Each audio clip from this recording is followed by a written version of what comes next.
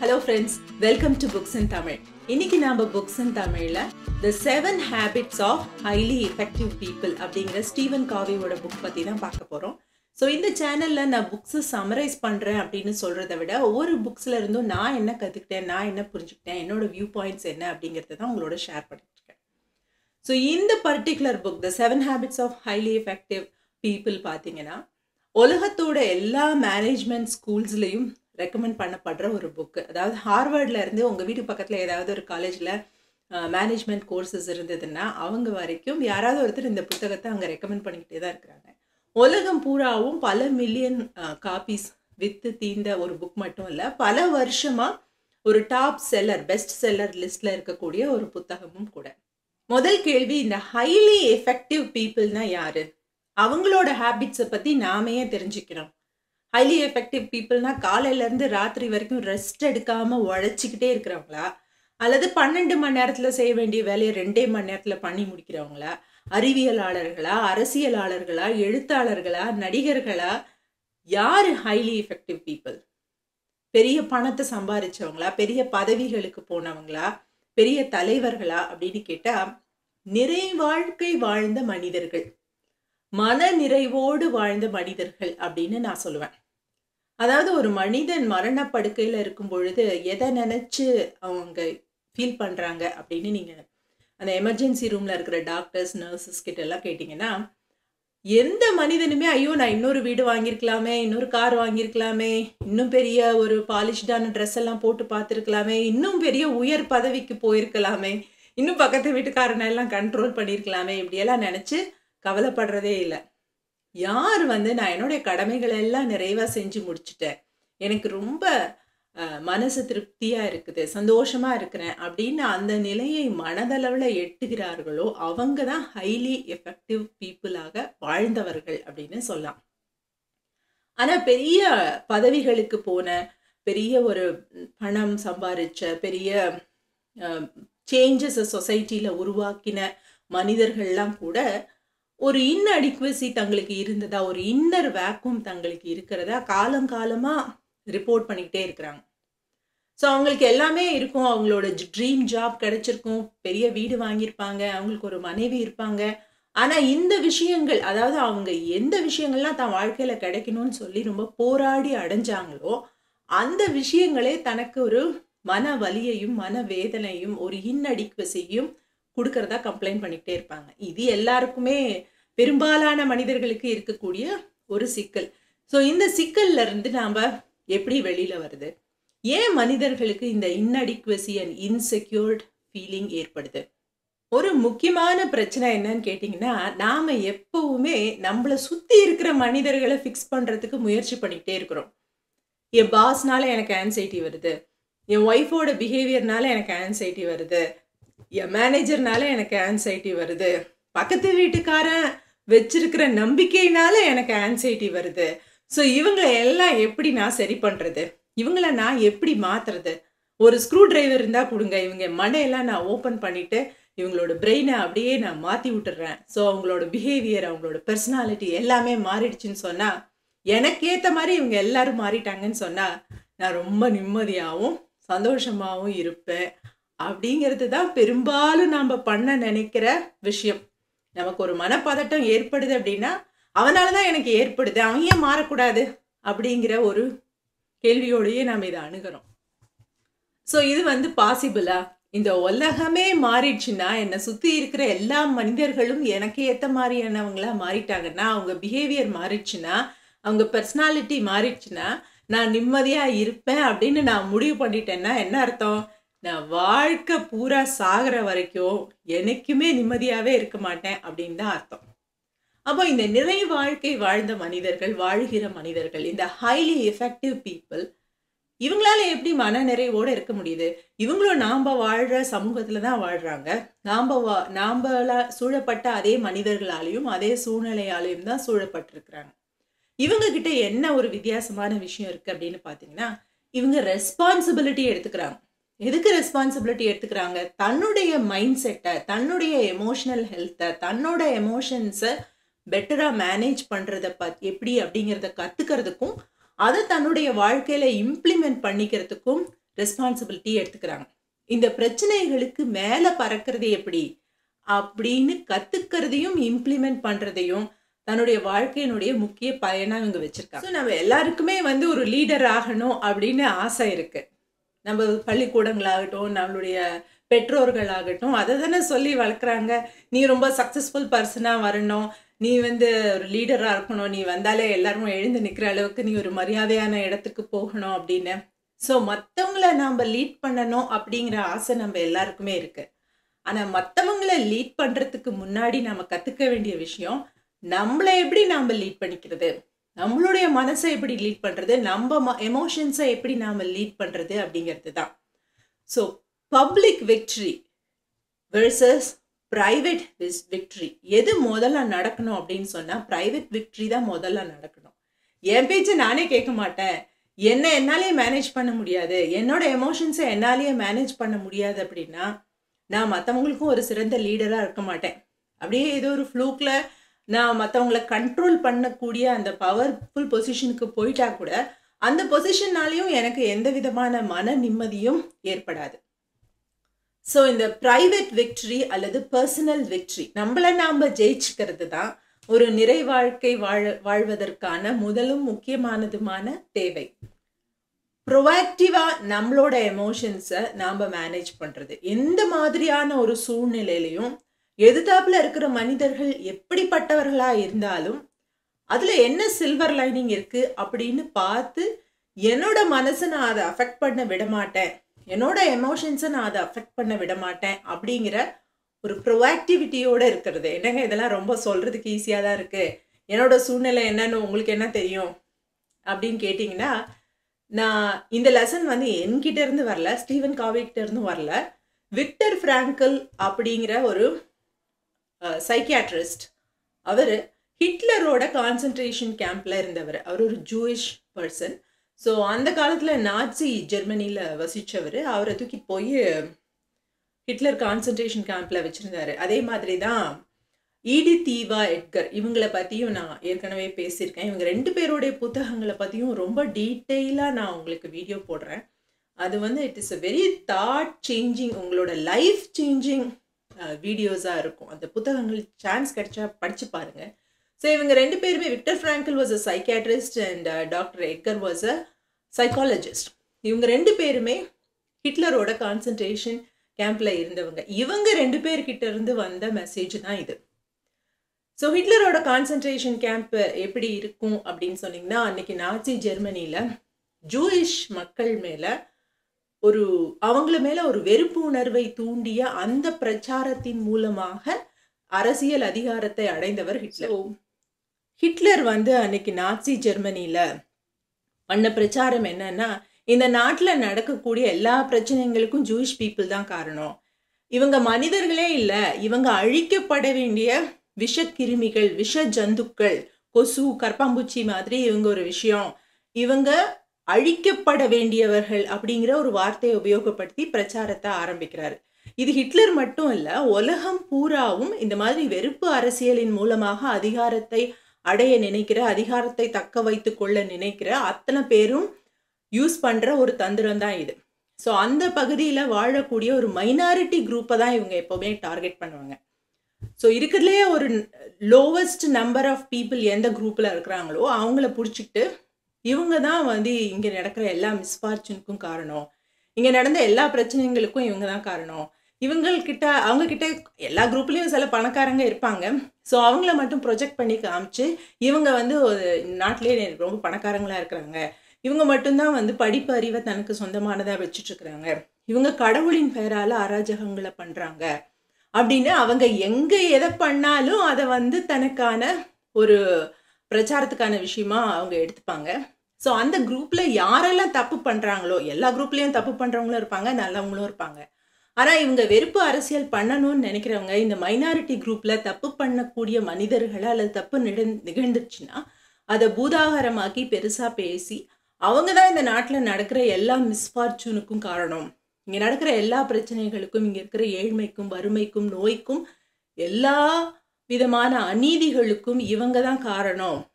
இவங்க மனிதர்களே இல்லை இவங்க கொசுக்கள் கரப்பாம்பூச்சிகள் இவங்க அழிக்கப்பட வேண்டியவர்கள் ஒடுக்கப்பட வேண்டியவர்கள் இல்லை அழிக்கப்பட வேண்டியவர்கள் என்ற ரீதியாகத்தான் பிரச்சாரம் பண்ணுவாங்க. இதுதான் உலகம் பூராவும் நடந்த நடந்துட்டு இருக்கிற ஒரு விஷயம். ஸோ வெறுப்பு அரசியல்னாலே இப்படி தான் இருக்கும். இதுதான் ஹிட்லருடைய ஆட்சி காலத்துலேயும் நடந்தது. ஹிட்லரோடது வந்து இந்த நம்ம ஹிஸ்ட்ரியிலேயே மனித குலத்தின் ஹிஸ்ட்ரியிலேயே ரொம்ப அதிகமாக ஒரு பதிவு செய்யப்பட்ட ஒரு ரொம்ப ஒரு cruellest chilling mind numbing cruelty அப்படின்னு சொல்லலாம். ஸோ அவர் வந்து இந்த ஜூயிஷ் பீப்புளை முதல்ல என்ன பண்ணார் அப்படின்னு சொன்னால் இந்த வெறுப்பு பிரச்சாரத்தை அவங்க மேலே பண்ணார். இங்கே இருக்கிற எல்லா பிரச்சனைக்கும் இந்த ஜூயிஷ் ஆளுங்க தான் காரணம் அப்படின்னு. ஸோ அந்த நாஜி கேத்தலிக்ஸை விட இந்த ஜூயிஷ் பீப்புள் எண்ணிக்கையில் ரொம்ப ரொம்ப குறைவானவங்க. ஸோ அதே எல்லா கம்யூனிட்டிலையும் டாக்டர்ஸு இன்ஜினியர்ஸு டீச்சர்ஸு இந்த மாதிரி அந்த கம்யூனிட்டிலையும் இருந்தாங்க பிஸ்னஸ் பீப்புள் அவங்கெல்லாம் இருந்த மாதிரி இங்கேயும் இருந்தாங்க. ஆனால் எல்லா பிரச்சனைகளுக்கும் இவங்க தான் காரணம்.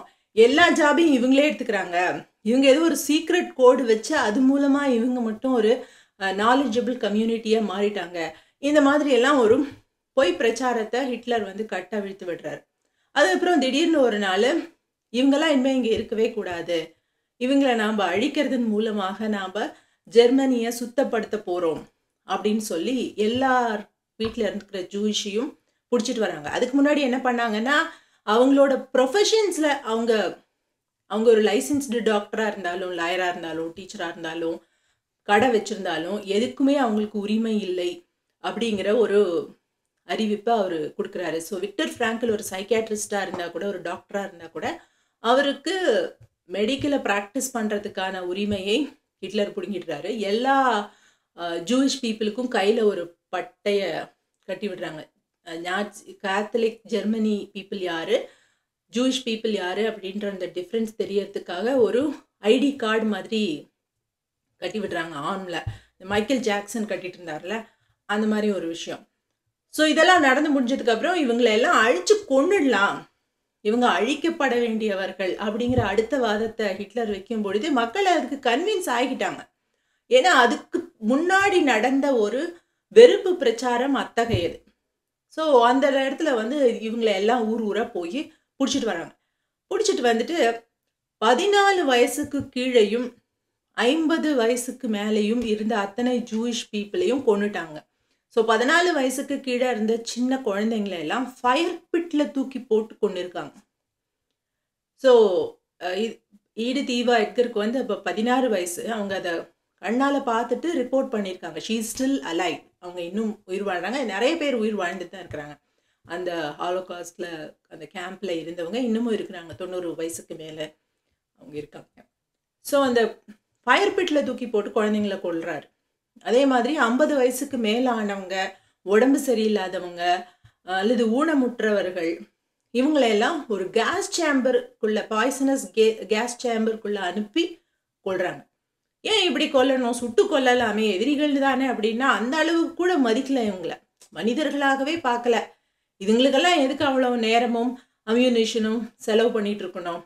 அதனால இதுங்களெல்லாம் ஒரு மேஸை கொலை பண்ணிடலாம் அப்படின்ட்டு சொல்லிட்டு அந்த மாதிரியான ஒரு ஒரு கர்ண கொடூரமான ஒரு கேம்ப்பு ஸோ யாரெல்லாம் உயிரோட இருந்தாங்களோ அவங்கெல்லாம் வந்து ஃபிசிக்கல் லேபர் வேலைகளில் ஈடுபடுத்தப்படுறாங்க. சாப்பாடு கிடையாது. ரொம்ப ரொம்ப ரொம்ப வாட்டரியான ஏதாவது ஒரு கஞ்சி தான் கொடுப்பாங்க. துணியும் கிடையாது. ஸோ ஈடு தீபா எட்கர் என்ன சொல்கிறாங்கன்னா அந்த பதின்ம வயது பெண்களை பிடிச்சிட்டு போனாங்க இல்லையா? அந்த பெண்களுக்கெல்லாம் மாதவிடாயே நின்று போச்சு. அந்த அளவுக்கு அவங்களோட வாழ்க்கை வந்து அந்த கேம்ப்ல இருந்திருக்கு. பெரும்பாலானவங்க இறந்தும் போயிட்டாங்க. ஏதாவது எதிர்த்து பேசினா சுட்டு கொல்லப்படுவாங்க. இப்படிதான் இருந்தது அங்கே நிலைமை. ஸோ அந்த கான்சன்ட்ரேஷன் கேம்பில் விக்டர் இருக்கும் பொழுது அவரோட மனைவி பெற்றோர்கள் குழந்தைகள் அவரோட ஃபேமிலி எல்லாமே கொல்லப்படுறாங்க. அந்த கேம்புக்கு அவரோட வந்தவங்களும் எல்லாருமே ஒருத்தொருத்தராக செத்து போய்கிட்டே வராங்க. அங்கே வெறும் மரணம் தான் இருக்குது மரணத்தை அழுகிய உடல்களை அங்கேயே ஒரு எல்லா உடலையும் அப்படியே ஒரு குழியில் போட்டு அப்படியே மூடி வச்சிருவாங்க. வியாதிகள் பரவிட்டு இருக்கு யாருக்கும் உணவில்லை.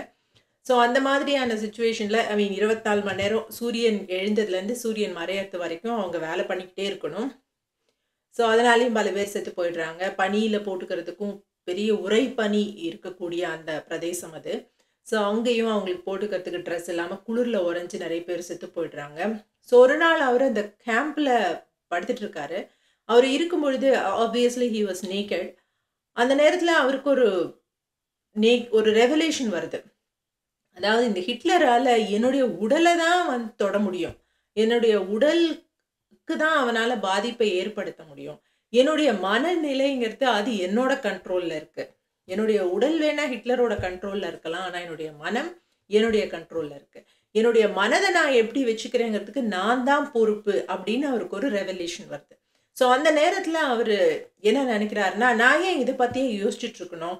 நான் வேற ஒரு விஷயத்த பற்றி யோசிக்க போகிறேன் என்னுடைய வாழ்க்கையின் பயன் என்ன அப்படிங்கிறத பற்றி நான் இப்போ யோசிக்க போகிறேன் அதாவது நான் இந்த ஹிட்லருடைய கான்சன்ட்ரேஷன் கேம்ப்லேருந்து நான் தப்பிச்சு போயிட்டா அதுக்கப்புறம் என்னுடைய வாழ்க்கையின் பயனாக என்ன இருக்க போகுது அப்படின்னா இந்த கேம்ப் எக்ஸ்பீரியன்ஸை என்னுடைய மாணவர்களுக்கு நான் ஷேர் பண்ணுறதன் மூலமாக இந்த பர்டிகுலர் மெசேஜை நான் உலகத்துக்கு சேர்க்க போகிறேன் என்ன மெசேஜ் அதாவது இந்த மாதிரியான சூழ்நிலைகள் புற சூழ்நிலைகள் ஹிட்லர் அமைச்ச இந்த கேம்ப்பு இந்த ஹாலோகாஸ்ட் எல்லாமும் என்னுடைய உடலை தான் தொட முடியுமே தவிர என்னுடைய மனதுக்கு நான் தான் பொறுப்பு அப்படிங்கிற இந்த மெசேஜை தான் என்னுடைய மாணவர்களுக்கு நான் கொடுக்க போகிறேன் நான் இதுதான் என்னோட சைக்காட்ரிக் கிளாஸில் இதை ஒரு தெரப்பியாக என்னோட பேஷண்ட்ஸ்க்கு நான் யூஸ் பண்ண போகிறேன் ஸோ மன பதட்டத்தோட ஆன்சைட்டியோட பிரச்சனைகளால் பாதிக்கப்பட்டு ட்ராமடைஸ் செய்யப்பட்டு வரக்கூடியவர்களுக்கு ட்ரீட்மெண்ட் கொடுக்கறதுக்கு நான் இந்த மெசேஜையும் இந்த எக்ஸ்பீரியன்ஸையும் பயன்படுத்த போகிறேன் அப்படிங்கிற ஒரு முடிவுக்கு வராரு ஸோ அதுக்கப்புறம் அவர் அதை பற்றி தான் யோசிச்சுட்டு இருக்காரு. அவர் கேம்பில் தான் இருக்காரு. அவருடைய புற சூழ்நிலைகள் மாறவே இல்லை. அவர் ஆனால் அவருடைய மனதுக்குள்ளாக அவர் ஒரு தனி உலகத்தை கட்டமைச்சுக்கிட்டு அந்த உலகத்தில் இந்த இன்ஃபர்மேஷனை எப்படிலாம் கொடுக்கலாம் இதை எப்படிலாம் ஒரு தெரப்பியாக டெவலப் பண்ணலாம் இது மூலமாக எப்படி மக்களை வந்து பதட்டத்திலேருந்து மனப்பதட்டத்திலேருந்து மீட்கலாம் அப்படிங்கிற விஷயத்தை யோசிச்சு லெகோ தெரப்பி அப்படின்னு அவர் ஒரு புது தெரப்பி மெத்தடையே அவர் கண்டுபிடிச்சிருக்கார்.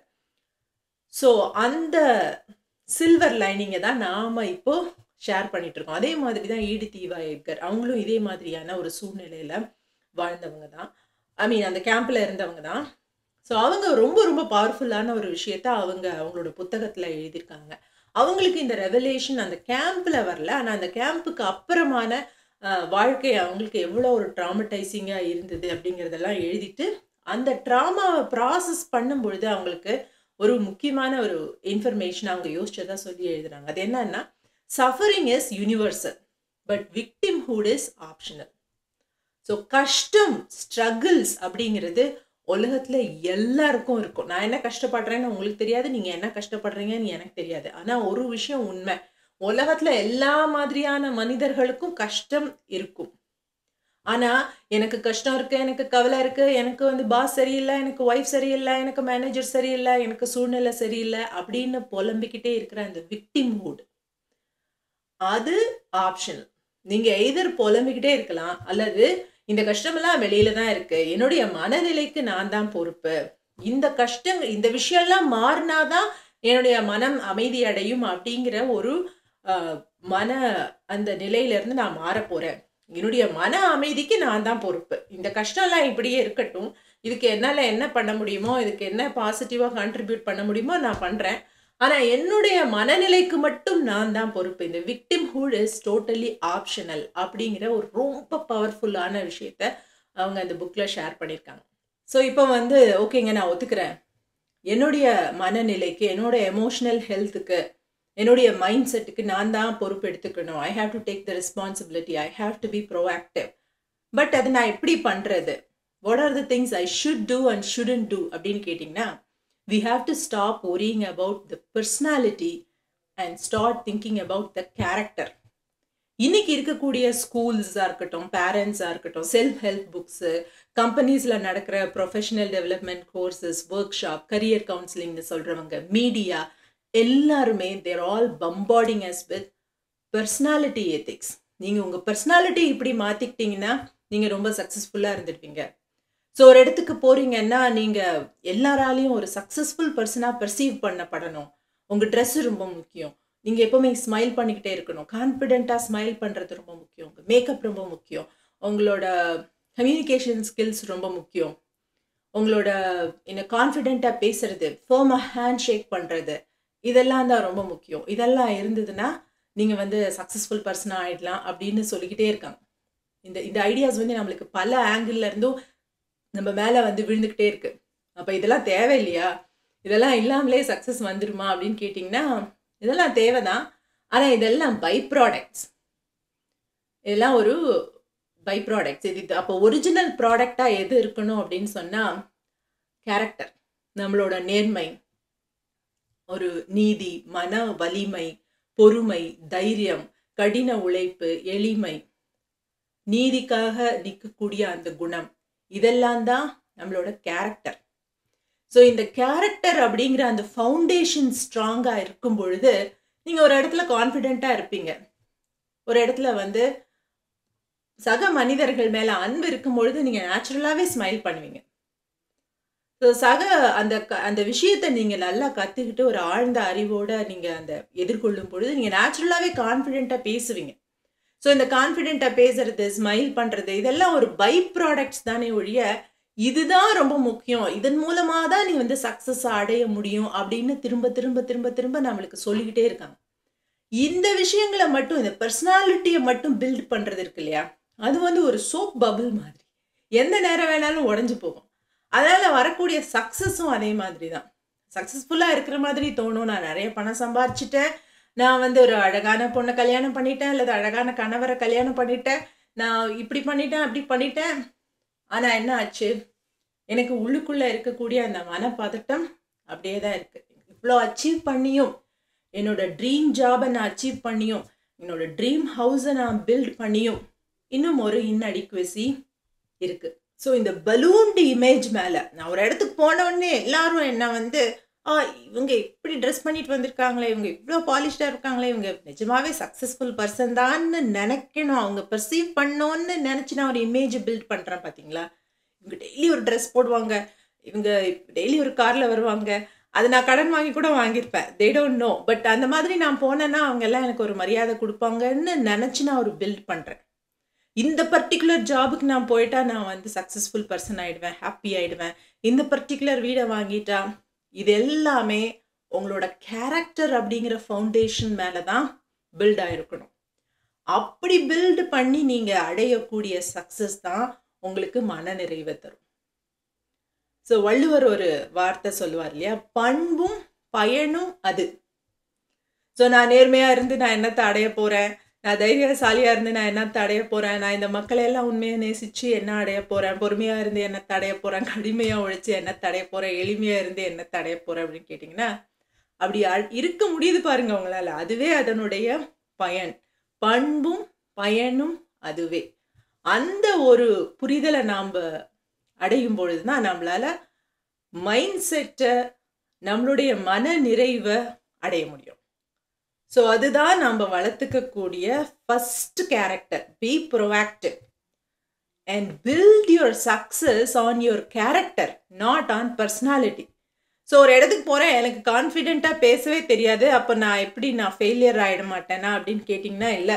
உங்களோட ஒர்க் உங்களோட கோல் உங்களோட லைஃப் கேரக்டர் மேலே பேஸாக இருக்கும் பொழுது ஒருவேளை உங்களுக்கு கம்யூனிகேஷன் ஸ்கில் கம்மியாக இருந்தால் கூட நீங்கள் அதை கற்றுக்கோங்க நான் அதை வேணான்னு சொல்ல நாட் அகெயின்ஸ்ட் இட் அதெல்லாம் கற்றுக்க வேண்டிய ஒரு விஷயம் தான் ஆனால் அது நம்மளோட வாழ்க்கையின் பயன் அல்ல அப்படிங்கிறத நம்ம மனசில் நல்லா புரிஞ்சுக்கணும். மேக்கப் ஒரு ஆர்ட் தானே யா? உங்களுக்கு தெரிஞ்சால் அது நீங்கள் பண்ணிக்கலாம். ஸோ ஒரு எஃபெக்டிவாக பேசுறது ஸ்மைல் பண்ணுறதெல்லாம் நல்ல விஷயம் தானேங்க அப்படின்னா பண்ணுங்கள் ஆனால் இது உங்களோட வாழ்க்கையின் பயன் அல்ல. உங்களோட வாழ்க்கையின் பயன்கிறது உங்கள் கேரக்டர் உங்கள் வேல்யூஸ் அது மேலே இது நீங்கள் பில்ட் பண்ணும் பொழுது அதை நீங்கள் ப்ரொஆக்டிவாக பண்ணும் பொழுது அதை அதுதான் ஃபஸ்ட்டு ஹேபிட்டாக நம்ம மாற்றிக்கணும் so the first habit is நான் ஒவ்வொரு விஷயம் பண்ணும் பொழுதும் ஒவ்வொரு கோலை நான் நோக்கி போகும் பொழுதும் ஒரு ட்ரீமை நோக்கி போகும் பொழுதும் இந்த ட்ரீம் இந்த நான் சூஸ் பண்ணுற இந்த ரிலேஷன்ஷிப் இந்த ஜாப் இந்த goal is it aligning with my character அப்படிங்கிறத யோசித்து பண்ணும்பொழுது தான் அந்த விஷயத்தை நம்ம அச்சீவ் பண்ணதுக்கப்புறம் நமக்கு ஒரு மன நிறைவு வரும். இதை நான் அச்சீவ் பண்ணிட்டா இவங்க என்ன நினைப்பாங்க? அவங்க என்ன அப்ரிஷியேட் பண்ணுவாங்களா? இவங்க வந்து என்ன ஒரு சூப்பர் பர்சன் பெர்சீவ் பண்ணுவாங்களான்லாம் யோசிச்சு நான் ஒரு கோலுக்கு பின்னாடியோ ஒரு ரிலேஷன்ஷிப்புக்கு பின்னாடியோ போனேன்னு சொன்னால் அதை நான் அச்சீவ் பண்ணதுக்கப்புறம் எனக்கு ஒரு இன்னர் வேக்யூம் தான் வரும். That is the first habit we have to think about so ரெண்டாவது முக்கியமான habit of highly effective people என்னென்னா ஒரு விஷயத்த பண்ண ஆரம்பிக்கிறதுக்கு முன்னாடியே அதோட முடிவை பற்றி நல்லா யோசித்து ஆலோசனை பண்ணி அதுக்கப்புறம் அதை பண்ண ஆரம்பிக்கிறது. வள்ளுவர் சொல்லுவார் இல்லையா? எண்ணி துணிக கருமம். துணிந்த பின் எண்ணுவோம் என்பது இழுக்கு. போய் செஞ்சிடலாம். அப்புறம் வரதெல்லாம் பார்த்துக்கலாம் அப்படிங்கிறது ஒரு தைரியம். அது அதை பற்றி நம்ம பேசலை. ஆனால் உங்களோட வேல்யூஸ் இதை நான் பண்ண ஆரம்பிக்க போகிறேனே இது என்னோட வேல்யூஸோட என்னோட கேரக்டரோட இது அலைன் ஆகுமா? இல்லை பின்னாடி நான் வந்து இதை இதை வந்து என்னால் மனநிறைவோட இந்த பாதையை திரும்பி பார்க்க முடியுமா அப்படிங்கிறத யோசிச்சு பண்ணுறது இதை பண்ணால் நிறைய பணம் வருமா? இதை பண்ணால் எனக்கு சக்ஸஸ் வருமா? பதவி வருமான்னு யோசிக்கிறது இல்லை. இதை பண்ண போகிறேனே இதனால் என்னுடைய நேர்மைக்கோ என்னுடைய ஒரு கொள்கைக்கோ என்னுடைய வேல்யூஸ்க்கோ இதனால் எதுவும் பங்கம் வருமா?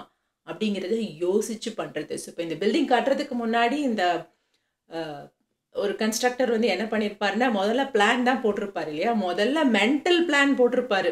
ஸோ எந்த பில்டிங்காக இருந்தாலும் சரி முதல்ல அது வந்து தரையில் உருவாகிறது இல்லை முதல்ல அது பேப்பர்லேயும் உருவாகிறது இல்லை அது அந்த கன்ஸ்ட்ரக்டரோட மைண்டில் தான் உருவாகுது. ஸோ அந்த மாதிரி நம்மளோட வாழ்க்கை அப்படிங்கிற இந்த பில்டிங்கை கட்டுறமே இதுக்கு நடந்து முடிஞ்சப்புறம் நமக்கு என்ன தேவை?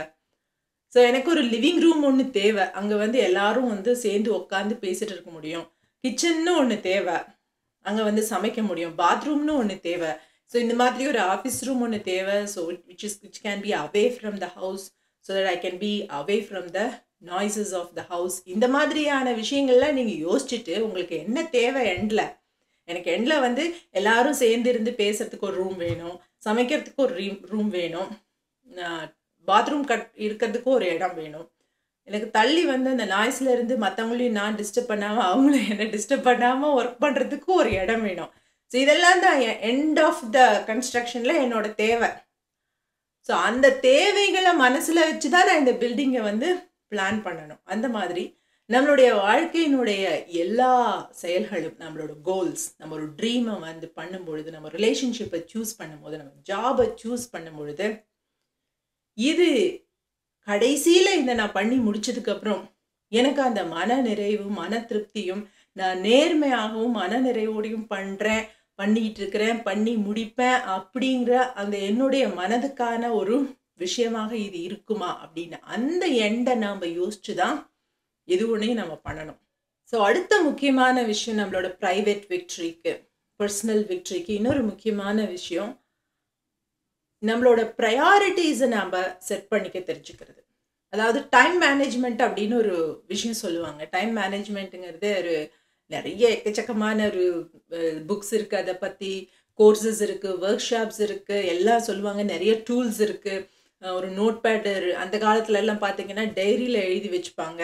அதுக்கப்புறம் ஒரு நோட் பேடில் எழுதி வைப்பாங்க. அதுக்கப்புறம் மக்கள் கேலண்டரில் எல்லாம் நோட் பண்ண ஆரம்பித்தாங்க கொஞ்சம் சஃபிஸ்டிகேட்டடாக ஆனதுக்கப்புறம் இப்போல்லாம் நம்ம கூகுள் கீப் வச்சுக்கிறோம். கூகுள் கேலண்டர் யூஸ் பண்ணுறோம் அது எனி ஆன்லைன் கேலண்டர் யூஸ் பண்ணுறோம் ஸோ இது எல்லாமே டைம் மேனேஜ்மெண்ட்கான விஷயமா அப்படின்னு கேட்டிங்கன்னா இது எல்லாமே டைம் மேனேஜ்மெண்ட்கான ஒரு tool it is not the actual essence of time management so உங்களோட பர்சனல் க்ரோத்துக்கான டைம் மேனேஜ்மெண்ட் அங்கே நடக்கணும் அப்படின்னு சொன்னால் எல்லாருக்கும் நம்ம எல்லாருக்குமே இருபத்தி நாலு மணி நேரம் தான் இருக்குது ஸோ நம்மளோட பர்சனல் க்ரோத்துக்கான டைம் மேனேஜ்மெண்ட் அங்கே நடக்கணும் அப்படின்னு சொன்னால் நம்மளுக்கு ப்ரையாரிட்டிஸ் செட் பண்ணிக்க தெரிஞ்சிருக்கணும். என்னோட வாழ்க்கையில் எது முக்கியம்? ஸோ நான் ஒரு புக்கு படிக்கலாம்னு நினைக்கிறேன் லைப்ரரிக்கு போகலான்னு நினைக்கிறேன். அந்த நேரத்தில் வந்து என்னோடய ஃப்ரெண்டு கால் பண்ணி வரையா சினிமாக்கு போகலாம் அப்படின்னு கூப்பிட்றா அப்படின்னா சினிமாக்கு போகிறது தப்புன்னு சொல்லலை. எனக்கு என் ஃப்ரெண்டோட டைம் ஸ்பெண்ட் பண்ணுறதும் அந்த ரிலேஷன்ஷிப்பை மேம்படுத்திக்கிறதும் தான் இப்போதைக்கு நான் முக்கியம். அதுதான் என்னோட ப்ரையாரிட்டின்னு நினச்சேன்னா சந்தோஷமாக அங்கே கிளம்பி போயிடணும். இல்லை எனக்கு அது தேவையில்ல. எனக்கு நான் இந்த புக்கு படிக்கிறது தான் முக்கியம். இந்த புக்கில் இருந்து நான் வந்து ஒரு வீடியோ போடுறது தான் முக்கியம். இதுதான் என்னோட இந்த ப்ரையாரிட்டி அப்படின்னு நான் நினச்சேன்னா நான் இங்கே இருந்துடணும். ஸோ இங்கே இருந்துட்டு அதை பண்ண முடியலையேன்னு யோசிச்சுட்டே இருக்கிறது அங்கே இருந்துட்டு இதை பண்ண முடியலையேன்னு யோசிச்சுட்டே இருக்கிறது அது பண்ணக்கூடாது. ஸோ அதே மாதிரி உங்களுக்கு எக்ஸசைஸ் பண்ணோன்னு இருந்ததுன்னா காலைல சீக்கிரம் எழுந்துருங்க. That if that is your priority wake up இல்லை எனக்கு அதெல்லாம் தேவையில்லைங்க அப்படின்னா நிம்மதியாக படுத்து தூங்குங்க. Because if that is your priority எனக்கு ப்ரையாரிட்டி வந்து எக்ஸசைஸ் பண்ணோம். எனக்கு ப்ரையாரிட்டி வந்து ஹெல்த் இம்ப்ரூவ் பண்ணோம். கொஞ்சோண்டு வெயிட்டை குறைக்கணும். இந்த ட்ரெஸ் வாங்கி போட்டால் நல்லா இருக்குமேன்னு ப்ரையாரிட்டியை அங்கே வச்சுட்டு ஆனால் தூக்க தூங்கிட்டு இருக்கக்கூடாது. ஸோ டைம் மேனேஜ்மெண்ட்டுங்கிறது கேலண்டர்லேயோ இல்லை அலாரம் ப்ரீஸ்லேயோ அதுலேயோ ஒன்றுக்குலேயும் இல்லை. அது நம்மளோட ப்ரையாரிட்டிஸை நாம் எப்படி செட் பண்ணிக்கிறோம் அப்படிங்கிறதுல தான் இருக்குது இந்த விஷயங்கள் எல்லாம் நாம் பண்ணும்பொழுது நம்மளோட கேரக்டர் எத்திக்கை பில்ட் பண்ணிக்கிட்டு நம்மளோட எந்த ம மனசில் வச்சுக்கிட்டு எண்ணி துணிக கருமம் அப்படின்னு சொல்கிறாங்க இல்லையா? அந்த விஷயங்களை அலசி ஆராய்ஞ்சு பார்த்து அதை செய்ய தொடங்குறது அதுக்கப்புறம் லைஃப்பில் ப்ரையாரிட்டி செட் பண்ணிக்கிட்டு எது என்னுடைய மன நிறைவுக்கும் மன பதட்டமின்மைக்கும் மன அமைதிக்கும் முக்கியமானது? எது என்னுடைய கோல் நான் வந்து இந்த நீதியோடையும் நேர்மையோடையும் நான் அடைய நினைக்கிறேன் அந்த கோலை அடையிறதுக்கு எது முக்கியம்? அப்படிங்கிறதெல்லாம் நம்ம ப்ரையாரிட்டைஸ் பண்ணி நம்மளோட வாழ்க்கையை அமைச்சிக்கும் பொழுது நாம் அடைவது தான் பர்சனல் விக்ட்ரி அப்படிதான் நம்மளோட ப்ரைவேட் விக்ட்ரியை அடைய முடியும். இந்த ப்ரைவேட் விக்ட்ரியை நாம் அடையாமல் பப்ளிக் விக்ட்ரியை பற்றி நாம் அங்கே போகிறது இட் இஸ் அ வேஸ்ட் அது ஒரு டெம்பரரி பவுல் மாதிரி தான். அதை ஒரு ஃப்ளூக்கில் நம்ம அடைஞ்சிட்டாலும் ஆஸ் ஐ ஆல்ரெடி செட் நமக்கு ஒரு இன்னர் வேக்கம் இருந்துக்கிட்டே தான் இருக்கும். ஆல்ரைட் நான் இப்போ என்னோட ப்ர ப்ரைவேட் விக்ட்ரிக்காக நிறைய நான் ஒர்க் பண்ணுறதுக்கு ஆரம்பிச்சிட்டேன். இப்போ நான் பப்ளிக் விக்ட்ரியை நோக்கி எப்படி நகர்றது? அண்ட் அகெயின் இது எல்லாமே ஒர்க் இன் ப்ராக்ரஸ் தான். நான் அடைஞ்சு முடிச்சிட்டேன் அப்படின்னு சொல்கிற மனிதர்கள் யாரும் இருக்க முடியுமான்னு எனக்கு தெரியல. கடைசி நாள் வரைக்கும் it is everything all the habits that we are discussing இந்த பண்பும் பயனும் இது எல்லாமே ஒரு ஒர்க் இன் ப்ராக்ரஸ் இந்த மாதிரி நம்மளோட கேரக்டர் மேலே நம்மளோட கேரக்டர் எத்திக் மேலே நம்மளோட வாழ்க்கையை நம்ம பில்ட் பண்ணும்போது அது தானாகவே நம்மளை பப்ளிக் விக்ட்ரியை நோக்கி நகர்த்திட்டு போகும். அதாவது நான் ஒரு கமிட்மெண்ட்ஸ்க்கு கமிட்மெண்ட்ஸை நான் கொடுத்த கமிட்மெண்ட்ஸை ஆனர் பண்ணுற ஆளா ஒரு நேர்மையான ஆளா எப்போவும் நான் ஒருத்தர்கிட்ட வந்து பேசும் பொழுது தன்மையாக பேசக்கூடிய ஆளா கிளாரிஃபிகேஷன்ஸை கரெக்டாக கொடுக்கக்கூடிய ஆளாக ஒரு பர்சனல் இன்டெகிரிட்டியை மெயின்டைன் பண்ணக்கூடிய ஆளாக ஒருவேளை ஏதாவது தப்பு நடந்துச்சுன்னா ஜென்யூனாக மன்னிப்பு கேட்கக்கூடிய நான் ஒரு ஆளாக இருக்கும் பொழுது இதானே என்னோடய கேரக்டர் இல்லையா? எளிமை நேர்மை இதை பற்றி தான் நம்ம பேசணும். ஸோ இதுதான் என்னோட பர்சனாலிட்டியாக இருக்கும் பொழுது என்னோட கேரக்டர் இதுவாக இருக்கும் பொழுது ஆட்டோமேட்டிக்காக என்னை சுற்றி இருக்கக்கூடிய மனிதர்கள் நம்மளை மதிக்கிறதுக்கு ஆரம்பிப்பாங்க. என்னங்க சொல்கிறீங்க அப்போ நிறைய பணம் இருக்கிறவங்க நல்லா டெக்டப்பாக ட்ரெஸ் பண்ணிட்டு இருக்கிறவங்க லவுடாக பேசுகிறவங்க எப்போவுமே சிரிச்சிட்டு இருக்கிறவங்க இவங்களுக்கெல்லாம் மரியாதை இருக்காதா அப்படின்னு கேட்டிங்கன்னா இதெல்லாம் நீங்கள் உங்களுக்கு இருந்தாலுமே கூட பட் உள்ளுக்குள்ளே வந்த இந்த இன்டெகிரிட்டி இல்லை. உள்ளுக்குள்ளே ஒரு நேர்மை இல்லை ஒரு சின்சியாரிட்டி இல்லை. உங்களோட தாட்ஸில் ஒரு கிளாரிட்டி இல்லை அப்படின்னா பீப்புள் வில் ஃபைண்ட் அவுட் அந்த நீங்கள் நீங்கள் அடைய நினைக்கிற அந்த பப்ளிக் விக்ட்ரியை உங்களால் நேர்மையாக அடைய முடியாது. நமக்கு மனிதர்கள் வந்து அந்த நேரத்தில் நம்மளோட அதிகாரத்துக்கு பயந்து வேணால் நம்மளுக்கு ஒரு மரியாதை கொடுக்கலாமே ஒழிய அவங்க நமக்கு கொடுக்கக்கூடிய மரியாதை வந்து ஒரு உண்மையான உள்ளத்துலேருந்து வரக்கூடிய மரியாதையாக இருக்காது. இப்போ நீங்களே யோசிச்சு பாருங்களேன். நீங்கள் எந்த மாதிரியான மனிதர்களுக்கு முக்கியத்துவமும் மரியாதையும் கொடுப்பீங்க? ஒருத்தர் ரொம்ப அழகாக இருக்கிறாங்க நல்லா சிரிக்கிறாங்க பெரிய காரில் வராங்க அழகாக ட்ரெஸ் பண்ணிக்கிறாங்க அப்படின்னா you will get attracted to that person ஒரு லவ் அட் ஃபர்ஸ்ட் சைட் மாதிரி ஒரு ஒரு அட்ராக்ஷன் வரும். ஆனால் கொஞ்சம் தெரிஞ்சுட்டு அந்த அட்ராக்ஷன் ஆகி அந்த ப பர்சன் கூட பழகிறதுக்கு ஆரம்பிச்சப்பறம் அவங்கக்கிட்ட ஒரு அடிப்படை நேர்மை இல்லை. அவங்க ஒரு குழப்பவாதியாக இருக்கிறாங்க. ஒரு வார்த்தை சொன்னால் அதை காப்பாற்ற மாட்டேங்கிறாங்க. ஏதாவது ஒரு தப்பு நடந்துட்டா ஆமாப்பா நான் தான் தெரியாமல் பண்ணிட்டேன்னு சொல்லாமல் அதை பிடிச்சிக்கிட்டு வீம்பா சண்டை போடுறவங்களா இருக்கிறாங்க அப்படின்னா நீங்கள் அந்த மனிதர் மேலே என்ன மாதிரியான ஒரு மரியாதை வைப்பீங்க? ஸோ என்னதான் உங்களுக்கு வெளிப்புற தோற்றம் வந்து அட்ராக்டிவாக இரு இருக்குது அப்படிங்கிறது எல்லாருக்குமே பிடிக்கும். It's like evolutionarily we are all ingrained இந்த செக்ஷுவல் செலெக்ஷன் ஒன்று இருக்குது சார்ல்ஸ் டார்வின் அதை பற்றி பேசுவார். ஸோ இந்த வெளிப்புற தோற்றத்தை வச்சு தான் நம்ம எல்லாருமே நம்மளுடைய இணையர்களை சூஸ் பண்ணுறோம் நம்ம யாரோட பழகிறதுங்கள சூஸ் பண்ணுறதுல ஒரு ஒரு முக்கியமான ஒரு ரோல் ப்ளே பண்ணுது. அது இல்லைன்னு சொல்ல முடியாது. Because that gives us a reproductive advantage ஆனால் அந்த மாதிரி நீங்கள் சூஸ் பண்ண மனிதர்கள் அவங்களோட கேரக்டர் சரியில்லை அப்படிங்கும்பொழுது தான் அவங்களுக்கு அந்த ஆன்சைட்டியும் பிரச்சனையும் வருது. அப்போ இன்னொரு மனிதனை நீங்கள் சூஸ் பண்ணும் பொழுது எப்படி நீங்கள் அவங்க அவங்களோட கேரக்டரை பார்த்து சூஸ் பண்ணணுமோ அதே மாதிரி தான் நம்மளோட கேரக்டரையும் நம்ம பில்ட் பண்ணிக்கணும். அவன் வந்து நல்லவனாக இருக்கணும் இப்படி இருக்கணும் அப்படி இருக்கணும்னு சொல்கிறதெல்லாம் ஒரு பக்கம் இருக்கட்டும். முதல்ல நாம் அந்த மாதிரி இருக்கணும். So what drives us towards public victory அப்படின்னு சொன்னீங்கன்னா உங்களை ஹானஸ்டி உங்கள் இன்டெகிரிட்டி சின்சியாரிட்டி ஹம் ஹியூமிலிட்டி இதெல்லாம் தான் இருக்க முடியும். மற்றதெல்லாமே ஒரு சோப் பபுள் மாதிரி தான் ஸோ பப்ளிக் விக்ட்ரிக்கான இன்னொரு முக்கியமான நம்ம டெவலப் பண்ணிக்க வேண்டிய கேரக்டர் என்னன்னா இன்டர் டிபெண்டன்ஸ் அதாவது மனிதர்களோட ரிலேஷன்ஷிப்பை மூணு வகையாக பிரிக்கலாம். கோ டிபெண்டன்ஸ் அல்லது டிபெண்டன்ஸ் அப்படின்னா எல்லா விஷயத்துக்கும் நான் வந்து இன்னொருத்தரையே சார்ந்திருக்கிறது. நான் குழந்தையா இருக்கும்போது நம்ம எல்லாருமே ஒருத்தரை சார்ந்து தான் இருப்போம். ஆனால் நம்ம கொஞ்சம் வளர்ந்ததுக்கு அப்புறமும் கூட எல்லாத்துக்கும் நான் அவங்களே சார்ந்திருக்கிறது. எனக்கு எந்த வேலையும் பண்ண தெரியாது அல்லது பண்ண முடியாதுன்னு சொல்லிடுறது. நான் பொறுப்பு எடுத்துக்கிட்டு எதையும் கற்றுக்கிறது இல்லை. ஒரு கான்ட்ரிபியூஷன் டு த ஃபேமிலி ஃபினான்ஷியலாவோ அல்லது எதுவாகவோ பண்ணுறதில்ல எமோஷ்னலாக நான் ஹர்ட்டாக இருக்கும் போதெல்லாம் அவங்க தான் அதுக்கு பொறுப்பு அப்படின்னு நினைக்கிறது.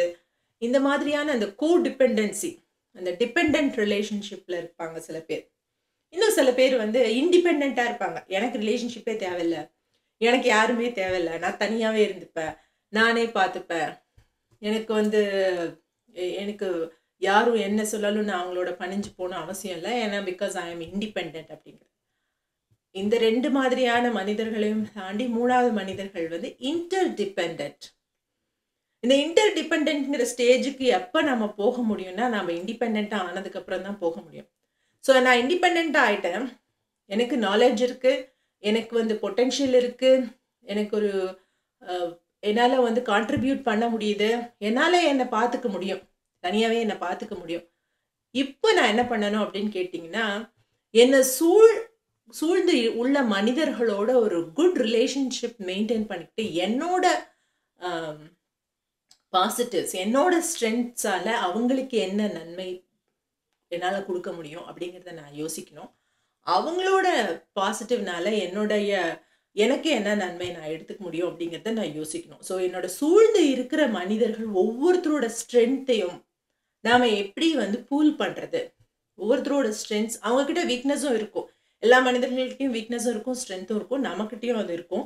ஸோ அந்த எல்லா மனிதர்களோட ஸ்ட்ரென்த்ஸையும் நாம் பூல் பண்ணி அதன் மூலமாக நமக்கு நம்ம இந்த டீம் நம்மளோட சொசைட்டி யூனிட் வாட் எவர் ஃபேமிலியாக இருக்கலாம் அவங்களோட ஒர்க் பிளேஸாக இருக்கலாம் உங்கள் ஃப்ரெண்ட்ஸ் குரூப்பாக இருக்கலாம் எதுவாக இருக்கலாம். ஒவ்வொருத்தரோட ஸ்ட்ரென்த்தையும் எப்படி நான் வந்து இணைச்சி அது மூலமாக எல்லாருக்குமே பயனளிக்கக்கூடிய விஷயங்களை நாம் செய்ய போகிறோம் அப்படின்னு யோசிக்கிறவங்க தான் உண்மையிலே அந்த பப்ளிக் விக்ட்ரியை நோக்கி போயிட்டு இருக்கிறவங்க அவங்க தான் ஆக்சுவலி லீடர் ஸோ இது எப்போ உங்களால் பண்ண முடியும்னா நீங்கள் பர்சனல் விக்ட்ரியை அடைஞ்சிருக்கணும். ரெண்டாவது நீங்கள் ஒரு இண்டிபெண்ட் பர்சனாக இருக்கணும். நான் ஒரு டிபெண்ட் பர்சனாக இருந்துக்கிட்டு நான் அவங்களோட ஸ்ட்ரென்த் எல்லாம் எடுத்துக்க நினைக்கிறேன் அப்படின்னாக்கா தட் இஸ் அது வந்து ஒரு மாதிரி அவங்களோட ஸ்ட்ரென்த் எல்லாம் அவங்களோட பாசிட்டிவிட்டியெல்லாம் நான் உறிஞ்சி எடுத்துக்கிறது. So that's not what I'm talking about you are positive you are complete அவங்க எல்லாமலும் நீங்கள் இருக்க முடியும். இருந்தாலும் உங்ககிட்ட இருக்கிற ஸ்ட்ரென்த்தை நீங்கள் கான்ட்ரிபியூட் பண்ணுறீங்க அவங்க கிட்ட இருக்கிற ஸ்ட்ரென்த்தையும் அவங்க கான்ட்ரிபியூட் பண்ணுறாங்க that's what that's how any good healthy relationship should work so இதை வந்து Stephen Covey win win mindset அப்படின்னு சொல்கிறார் நம்ம எப்போவுமே வந்து வின் லூஸ் மைண்ட் செட்டுக்கு தான் பழக்கப்படுத்தப்பட்டிருக்கோம். எவனாவது ஒருத்தன் தோத்தாதான் ஒரு ஆர்குமெண்ட்ல அவன் தோக்கணும் இல்லை ஒரு போட்டியில் அவன் தோக்கணும் ஒரு எனி ஒரு ரிலேஷன்ஷிப்பில் அவன் தோக்கணும். அவன் தோத்தாதான் நான் வந்து ஜெயிச்சதா அர்த்தம் அப்படின்னே நம்ம வந்து பழக்கப்பட்டிருக்கோம். அப்படி இல்லை. ஸோ அந்த வெற்றி வந்து உங்களுக்கும் மன பதட்டத்தை தான் கொடுக்கும். எதிராளிக்கும் ஒரு ஏமாற்றத்தையும் ஒரு மன வருத்தத்தையும் தான் கொடுக்கும். ஸோ ஒரு ஆர்கியூமெண்ட் நடக்கும்போது அவன்கிட்டருந்து நான் என்ன புரிஞ்சுக்கலாம்? எங்கிட்ட இருந்து அவனுக்கு என்ன கொடுக்கலாம்? வின் வின் ரெண்டு பேருமே வின் பண்ணுறோம் எனி ரிலேஷன்ஷிப் வந்து வின் வின் பேசிஸில் தான் இருக்கணும். ஒரு ஹஸ்பண்ட் அண்ட் ஒய்ஃப் ரிலேஷன்ஷிப்பில் கூட வின் லூஸ்னு இருந்ததுன்னு நீங்கள் what kind of relationship is that what kind of family is that it has to be a win win ரெண்டு பேரும் சேர்ந்து ஜெயிக்கணும். ரெண்டு பேரும் விட்டு கொடுத்து போகிறது எப்பன்னு தெரிஞ்சுக்கணும். என்னோட ஸ்ட்ரென்த் என்னன்னு தெரிஞ்சுக்கணும். அவங்க ஸ்ட்ரென்த் என்னன்னு தெரிஞ்சுக்கணும். ரெண்டு பேருமே அவங்கவுங்க ஸ்ட்ரென்த்தை கான்ட்ரிபியூட் பண்ணணும். ரெண்டு பேருக்குமே வீக்னஸ் இருக்கும். அந்த வீக்னஸை நம்ம காம்ப்ளிமெண்ட் பண்ணணும். வெல் ஃபைன் ரொம்ப ஈஸி இது சொல்கிறது இல்லையா? Win win mindset interpersonal ரிலேஷன்ஷிப்பை டெவலப் பண்ணுறதுக்கு என்ன அடிப்படையான தேவை அப்படின்னு பார்த்தீங்கன்னா என்ன அவங்க புரிஞ்சுக்கணும் அப்படின்னு நினைக்கிறதுக்கு முன்னாடி நாம் அவங்கள புரிஞ்சுக்கிறதுக்கு முயற்சி பண்ணோம் ஸோ அண்டர்ஸ்டாண்ட் ஃபர்ஸ்ட் நம்ம எல்லாருமே என்ன நினைக்கிறோம்? அவங்க என்ன புரிஞ்சிக்க மாட்டேங்கிறாங்க? அவங்க என்ன புரிஞ்சிக்க மாட்டேங்கிறாங்க? அவங்க என்ன புரிஞ்சிக்க மாட்டேங்கிறாங்க அப்படின்னு தான். எல்லா மனிதர்களுமே பெரும்பாலும் இது இந்த இன்னர் கான்ஃப்ளிக்ட் இருக்கும்பொழுது எப்படி நம்ம பிஹேவ் பண் நம்ம பிஹேவியர் எப்படி இருக்குன்னா நான் சொல்கிறத அவன் கேட்கவே மாட்டேங்கிறான். நான் சொல்கிறத அவங்க புரிஞ்சுக்கவே மாட்டேங்கிறாங்க அப்படின்னா இல்லை அவன் என்னமோ சொல்ல வரானே. அது என்னன்னு நான் புரிஞ்சுக்கிட்டு அப்புறம் அதுக்கு நான் பதில் சொன்னாதான் அவன் நான் சொல்கிறதுக்கு காது கொடுத்து கேட்பான். That's called active listening and reflective empathetic listening so இதுக்கு ஒரு அழகான எக்ஸாம்பிள் ஒன்று இருக்குது இப்போ நீங்கள் ஒரு கண்ணாடி கண் டாக்டர்கிட்ட போகிறீங்க அவர்கிட்ட போய் டாக்டர் எனக்கு வந்து கண் கண்ணு தெரிய மாட்டேங்குது ஒரு பிளர்டாக தெரியுது அப்படின்றது. உடனே அவர் வந்து அவங்க போட்டிருக்கிற கண்ணாடியை உங்களுக்கு கழட்டி கொடுத்து இதை போட்டுக்கோங்கம்மா அப்படிங்கிறாங்க சரி நீங்களும் போட்டு பாருங்க. போட்டு பார்த்தா முன்னாடி இருந்ததோட பயங்கரமாக பிளட்டாக தெரியுது.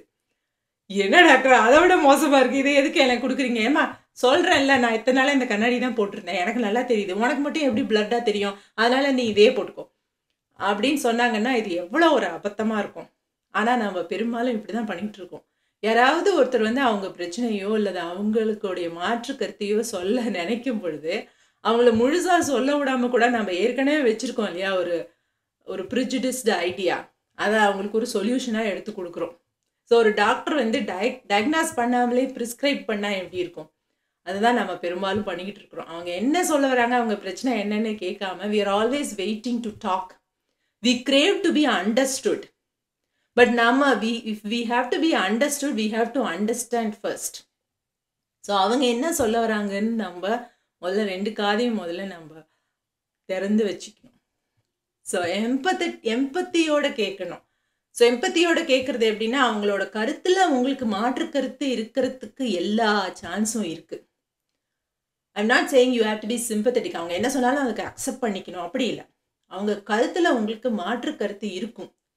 ஆனால் அந்த மாற்று கருத்தை வச்சிருக்கிறதுக்கு அவனுக்கு ஏதோ ஒரு காரணம் இருக்குது அவனுக்கு ஏதோ ஒரு ரீசன் இருக்குது அப்படிங்கிறத நாம் புரிஞ்சுக்கிட்டு அவன் சொல்கிறது கேட்குறோம் இல்லையா? அதுதான் எம்பத்தட்டிக் லிசனிங் அதுதான் active listening and it also have to be a reflective listening so நீங்கள் இதை தான் சொல்ல வந்தீங்களா? இந்த இந்த பாயிண்ட்லாம் சொல்ல வந்தீங்களா? அப்படின்னு சொல்லி கேட்டு புரிஞ்சுக்கிட்டு அந்த ஆனஸ்ட்லி அந்த ஏர்னஸ்டாக அந்த ஒரு இன்டென்ஷன் நம்மளுக்கு இருக்கணும். அதை ஒரு சும்மா ஒரு ஒரு ப்ராக்டிஸ் மாதிரி அவனை ஏமாத்துறதுக்காக பண்ணிக்கிட்டே இருக்கக்கூடாது. அப்புறம் ரிலேஷன்ஷிப் பெட்டர் ஆகாது. ஸோ உங்களுக்கு அந்த இன்டர் டிபெண்டன்சி வரணும். உங்களுக்கு வின் வின் ரிலேஷன்ஷிப்ஸ் வேணும் அப்படின்னா அவங்கள முதல்ல நீங்கள் புரிஞ்சுக்க முயற்சி பண்ணுங்கள் ஸோ ஒரு குழந்த வந்து சொல்லுது இல்லை எனக்கு இந்த விஷயம் பிடிக்கல. எனக்கு ஸ்கூல் பிடிக்கல அப்படின்னா என்னது? ஸ்கூல் பிடிக்கலையா? ஸ்கூல் போக முடியாமல் அங்கே ஒரிசாவில் எத்தனை பசங்க இருக்காங்க தெரியுமா? ஆஃப்ரிக்காவில் எத்தனை பசங்க இருக்காங்க தெரியுமா? அப்படின்னு சொல்லாமல் ஏமா பிடிக்கல? என்ன பிரச்சனை? You have to understand first நம்ம என்ன நினைக்கிறோம்? ஸ்கூலுங்கிறது எவ்வளோ ஒரு உயர்ந்த விஷயம் தெரியுமா? அப்படின்னு அவங்களுக்கு புரிய வைக்க நினைக்கிறோம். இல்லை அவங்களுக்கிட்ட என்ன பிரச்சனை இருக்குன்னு நாம் முதல்ல புரிஞ்சுக்கணும். ஸோ நீங்கள் முதல்ல புரிஞ்சுக்கிட்டதுக்கு அப்புறம் தான் உங்கள் கருத்துக்களை நீங்கள் எஃபெக்டிவாக மற்றவங்களுக்கு புரிய வைக்க முடியும். அதுதான் அந்த விஷயத்தை நீங்கள் அச்சீவ் பண்ணால் மட்டும்தான் அந்த ரிலேஷன்ஷிப் ஒரு வின் வின் ரிலேஷன்ஷிப்பாக ஆகும். ஸோ ஒரு வின் வின் ரிலேஷன்ஷிப் இருக்கிற இடத்துல மட்டும்தான் ஒரு இன்டர் டிபெண்டன்சி இருக்கும். ஒரு இன்டர் டிபென்சி டிபெண்டன்சினா உங்களை ஒரு லீடர் உங்களை பப்ளிக் விக்ட்ரிக்கு கூட்டிகிட்டு போகும் அடுத்தது ஹேபிட் சிக்ஸ் சினர்ஜி அதாவது ஒருங்கிணைந்து செயல்படக்கூடிய அந்த திறன். ஒற்றுமைன்னு சொல்லலாம். இப்போ அதுக்கு ஒன்றும் பெரிய ஒரு மாற்று கருத்து இருக்காதுன்னு நினைக்கிறேன். ரெண்டு வுட் இருக்கும்பொழுது அந்த ரெண்டுமே ஒன்று ஒன்று காம்ப்ளிமெண்ட் பண்ணிட்டு ரெண்டுமே ஸ்ட்ராங்காக இருக்கும். ஒரு தனி குச்சியை ஈஸியாக ஒழிச்சிடலாம் பட் அஸ் பண்டில் ஆஃப் குச்சியை ஒழிக்கிறது கஷ்டம். ஸோ ஒரு பிளான்ட்டும் இன்னொரு பிளான்ட்டும் வந்து நீங்கள் பக்கத்தில் பக்கத்தில் வைக்கும்பொழுது சில சமயம் அந்த மாதிரியான விவசாய ப்ரொசீஜர்லாம் பண்ணுவாங்க. எதுக்குன்னா இதோட இது வந்து வெளியேற்றக்கூடிய நியூட்ரிஷன் வந்து அதுக்கு பலமாகவும் அது வெளியேற்றக்கூடிய நியூட்ரிஷன் வந்து இதுக்கு பலமாகவும் இருக்கும் அப்படின்னு சொல்லிட்டு.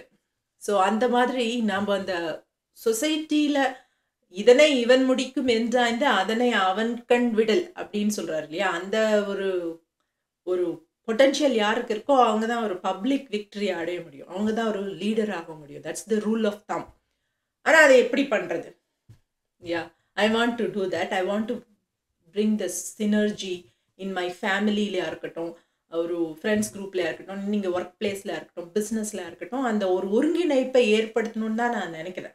எப்படி பண்ணுறது அதுக்கு ஒரு மிக் முக்கியமான ஒரு விஷயம் நாம் மனசில் வச்சுக்க வேண்டியது என்னன்னா டிஃப்ரென்சஸை பிரச்சனையான விஷயமா பார்க்கக்கூடாது. ஸோ ஒரு மனிதனுக்கும் இன்னொரு மனிதனுக்கும் எனி ஒரு ஹஸ்பண்ட் ஒய்ஃப் ரிலேஷன்ஷிப்பாக இருக்கட்டும் அல்லது ஒரு எனி ஃபேமிலி இருக்கட்டும் எங்கே வேணா இருக்கட்டும் physical mental emotional differences philosophical differences பிலீஃபில் differences இருக்கு தான் இருக்கும். அது முதல்ல நீங்கள் அக்ரி பண்ணிக்கணும்.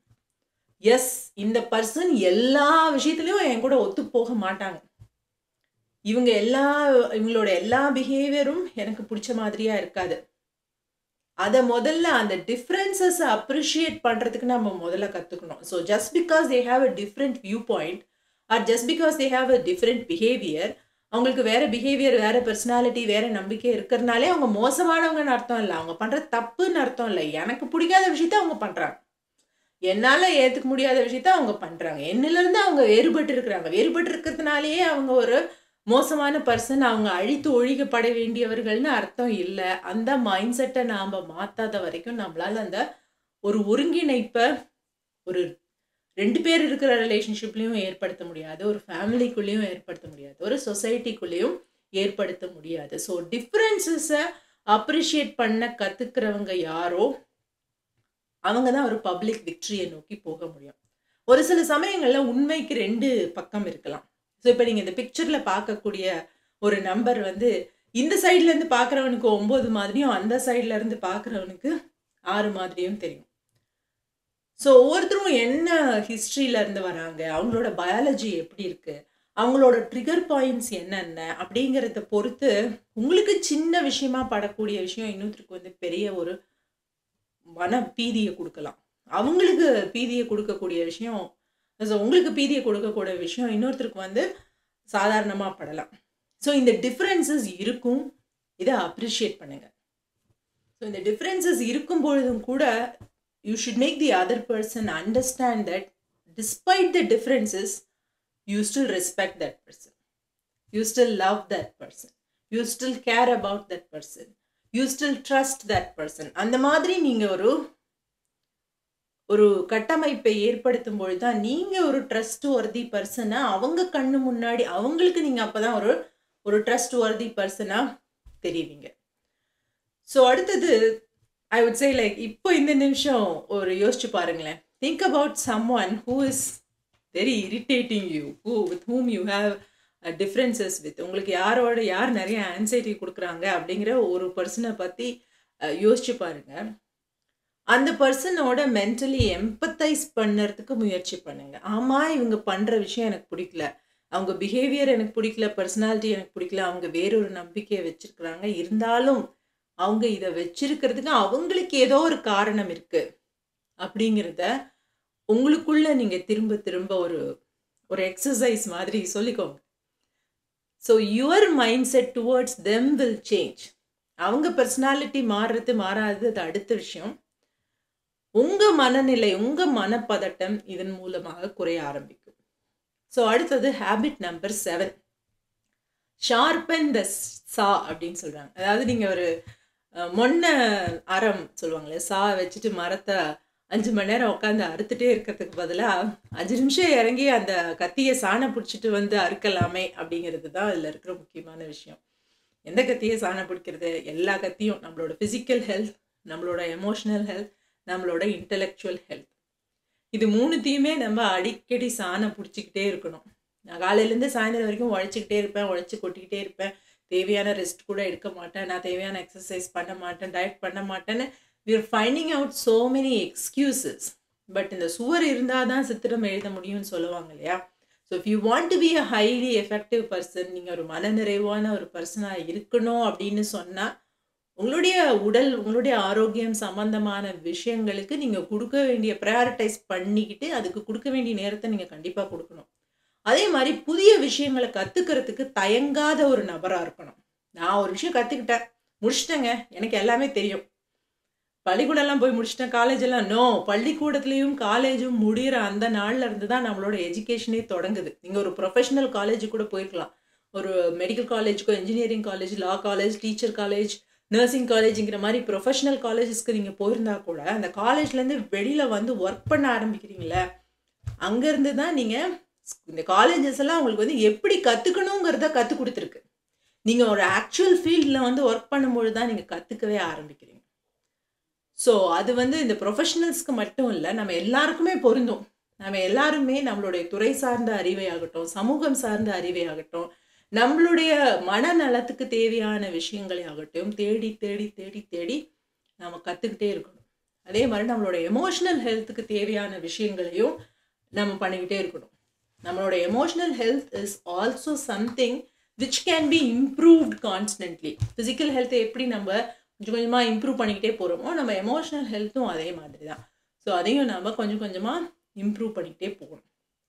ஸோ இந்த ஏழு விஷயங்களையும் நாம் செயல்படுத்தும் பொழுது நாமும் ஒரு மன நிறைவு கொண்ட ஹைலி எஃபெக்டிவ் பர்சனாக மாற முடியும். எகெயின் இது எல்லாமே ஒரு ஒர்க் இன் ப்ராக்ரஸ் இதை அச்சீவ் பண்ணவங்க யாரு? இது இதை ஒன்றுத்து பர்டிகுலர் நான் அச்சீவ் பண்ணிட முடியுமா அப்படின்னா நம்ம கடைசி நாள் வரைக்கும் இதை ப்ராக்டிஸ் பண்ணிக்கிட்டே இருக்கணும். These are the things that we have to be practising ஓகேவா ஸோ இந்த வீடியோ உங்களுக்கு பிடிச்சிருக்குன்னு நம்புகிறேன் இது உங்களுக்கு பிடிச்சிருந்ததுன்னா பயனுள்ளதாக இருந்ததுன்னா லைக் பண்ணுங்கள் கமெண்ட் பண்ணுங்கள் உங்கள் ஃப்ரெண்ட்ஸ் கூடயும் ஷேர் பண்ணுங்கள் Thank you so much for all the love and support.